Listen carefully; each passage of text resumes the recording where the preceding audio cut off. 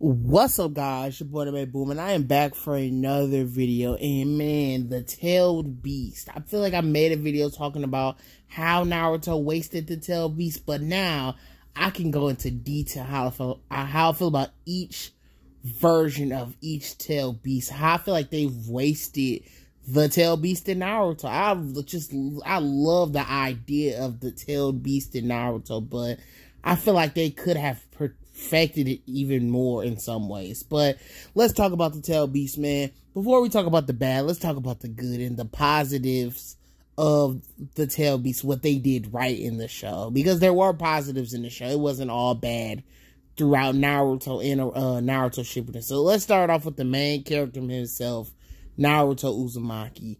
The Nine Tails storyline with the Nine Tails taking over Naruto's body and him and Kurama eventually becoming friends all of that was perfect. They did a great job telling Naruto's story. They did a great job telling Kurama's story and him dying in Boruto and stuff. I felt like they did a great job. One Tails. The One Tails garment, all of that was amazing also. The whole thing with the One Tails is like is a monster that's just taking over the Sand Village. It's scary and you see Gaara have to deal with it and people just don't like him. It's it's the same as Naruto's story and you see a lot of Gar Gaara's storyline, the Chunin exams, him uh dealing with that uh the Jinchuriki, and then Naruto telling him like you can be a good person. You could be a good person and stuff like that. And uh Gaara changes, becomes a good person, and you see eventually the Shukaku, the Sand Spirit, helps Gaara in the end to fight Madara stuff in the war arc. So you see with Naruto and Gaara, we've seen a lot of the tail beasts, what they had to go through with the tail beast, and you see them in fights with the, with the tail beast. You see Deidara um fighting Gaara and stuff, and you see him using Shukaku against Naruto in the early Naruto. You see Naruto always transforming into the Nine Tails and stuff. You see Nine Tails and Naruto's always having beef with each other. It's always a big part of the story. You get to see screen time for the tail beast and the person holding the tail beast. And I always like that that they showed the nine tails and the one tails is stuff. Eight tails. Eight tails, man, you it's the same thing with the eight tails. It's less, but it's still great. It's fine. Maybe it is about the same with Gaara and the eight tails, but Killer Bee, you see Killer Bee deal with his eight tails power and the, how the Cloud Village does not didn't like him at a point and was scared of the Eight Tails because it used to rampage through the city and trip out. But Killer Bee accepted it and used the Tail Beast uh, for himself. He mastered the ability and you see Killer Bee and the Eight Tails always together throughout the whole war arc and stuff. You see him in fights with characters with the eight tails. They show you the eight tails, how he acts, how Killer Bee and the eight tails get along and talk to each other.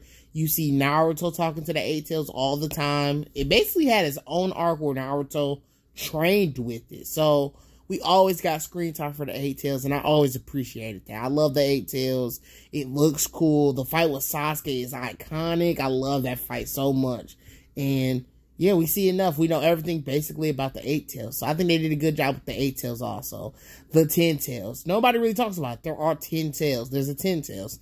Ten tails was built up as the ultimate threat and the ultimate monster. And the Akatsuki eventually get the ten tails and it's a monster. It's a beast and it's uh not really controlled by many people. Hagoromo could control it and uh Madara could control it. Obito took over and it's just a straight up monster. So I think the way they show the Ten Tails, we know everything about it.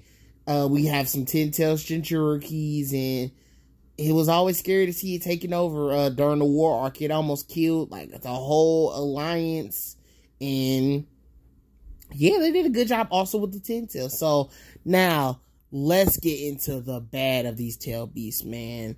So let's start it off with the timeline. Basically, Akatsuki, they go after the tail beast. From what I remember, uh, one tails, we see him get taken out first. They take out the two tails, then they take out the four tails, they take out the three tails. You get a little mini arc for the three tails, but he doesn't really do much in it. But at least you see the three tails. Uh, five tails, we don't get to see that. That was off screen. Six tails, We see that happen. Really short scene though, but we see a lot of the six tails, seven tails. We we do see in uh, the filler Chunin exams arc, but besides that, really nothing at all. And then the Akatsuki uh, couldn't really take out the eight and nine tails, so that's the whole story of the the tail beast and stuff. And this is where I'm start. Uh, this is where I got mad about it. The five tails. We'll start off with that. We see, at least with all the other tail beasts, we see what happened to them, how they got taken by the Akatsuki. This just shows the problem with these tail beasts. The five tails, we just really never got a scene with it.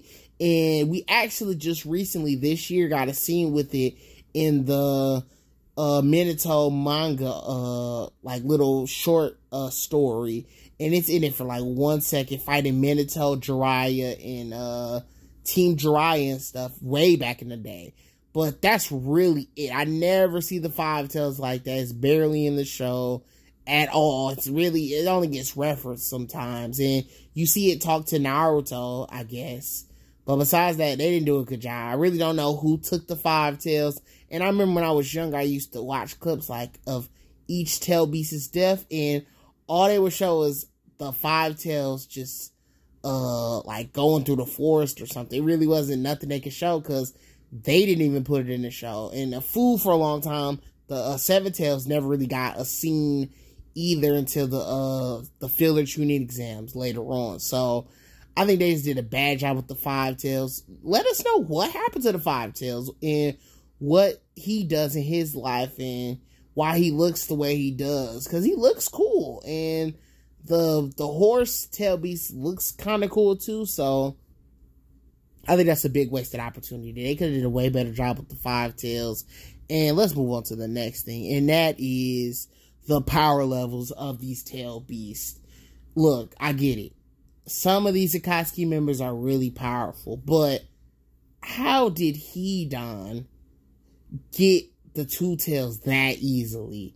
Hidan made getting capturing the two tails look like it was nothing. And I just think they did a horrible job with the tail beast's power levels. These things can use tail beast bombs and can take multiple attacks and fight gigantic like summoning jutsus like the toads and stuff like that. And they're just really powerful. This is the two tails. And we've seen how Naruto is in his one tail state and Gaara is in his one tail state. And I don't think they will go out that bad. The two tails just look like nothing.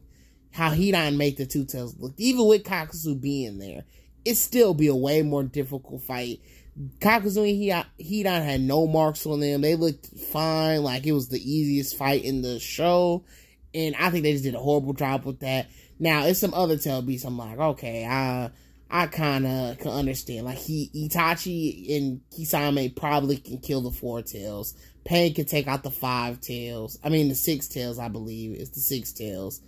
And, yeah, some of them I understand, but still the the three tails one is also kind of like they made that look like it was nothing. Toby and Deidara just threw a bomb on it, and that was it. That was the end for the three tails, and I thought they could have did a better job with that too. It just made the three tails look real weak, and um, Fu from what they show in the filler Chunin exams part, it looks like Hidan and Kakuzu also take Fu. And now that fight, I'm like, that's the Seven Tails. You're telling me they beat the Seven Tails in a fight? And Seven Tails Naruto, they're not beating Seven Tails Naruto in um the the one that fought Pain and stuff. He might have skipped the Seven Tails, but they're not beating the Six Tails either. They're not beating that version of Naruto. And I thought I was like, they're not beating Fu. They just did a bad job with some of their power levels and how I would have handled this Hotel Beast thing. How I would have proved upon this Hotel Beast story. Maybe make Naruto Shippuden longer. This story, they already struggling with all this Boruto stuff. They have been really off, so it's too late now, but they should have just made more stories kind of going through each of the tail beasts just a little bit like just telling us a little bit more about the Tail Beast. Make a little arc or maybe it's like a war between two two uh villages and they they got tail beasts that's trying to fight each other or something and the Akatsuki's going after the tail beast. Could be a hype arc and they just they have art trying to save some tail beasts from the Akatsuki. I thought they was a little bit just uh ruthless, not helping some of those tail beasts. But that's how I feel about the tail. Tell me how y'all feel about it, and I'll see you on the next video. Anime Buum, my peace.